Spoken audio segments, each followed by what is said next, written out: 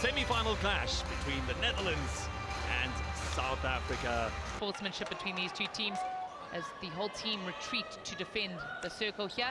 Ball coming in and a goal applying huge pressure on the South African defence.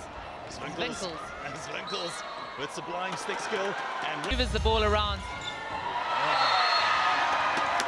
And their winner Working on Sherry Gra- Gravenstein. Let's see she can come off with the save. No, she can't. Shot comes in and they find the goal they've been looking for. One of the youngest players in the side.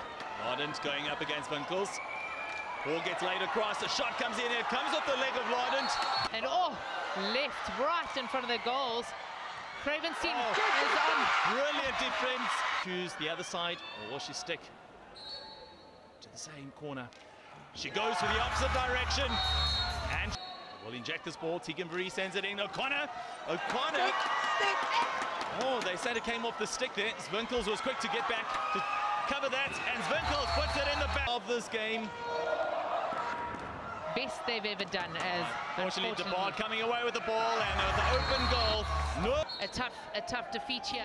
a round of applause and a fantastic performance. But at the end of the day, the Netherlands head through to the finals with a comfortable 6-1 victory against the host side, South Africa.